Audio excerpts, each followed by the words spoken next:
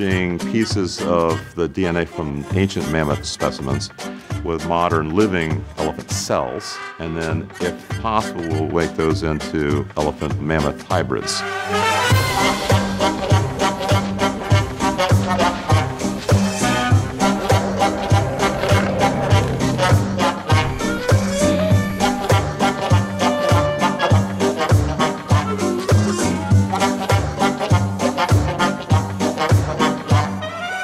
There is lots of carbon in, in the permafrost. If it released, it would be more than the sum of all the carbon in the atmosphere right now.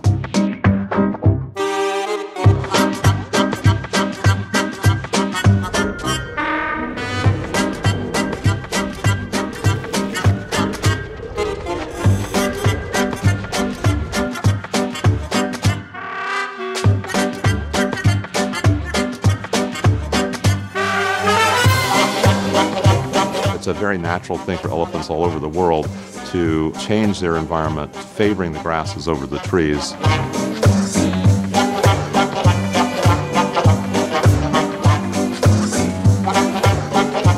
There's no reason to suspect that mammoths wouldn't have a similar, really important role.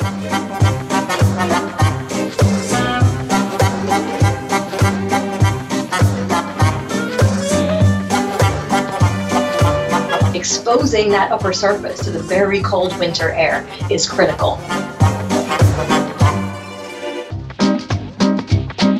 But if the animals are there, they dig through that snow to get to whatever green grass is underneath. Mammoths have an opportunity to keep global warming from possibly spiraling out of control, and anything we can do to push that in the right direction is really great.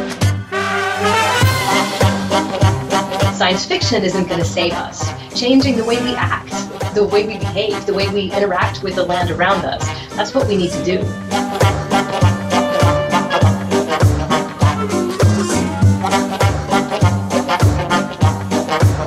We have reindeer, horses, moose, muskox, bison, yaks.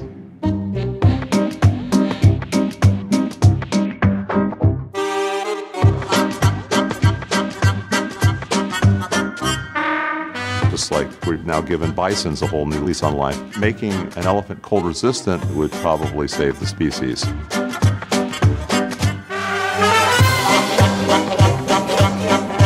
This technology, the ability to take genes from the past, put them into species that are alive today, has tremendous potential as a new tool for conservation.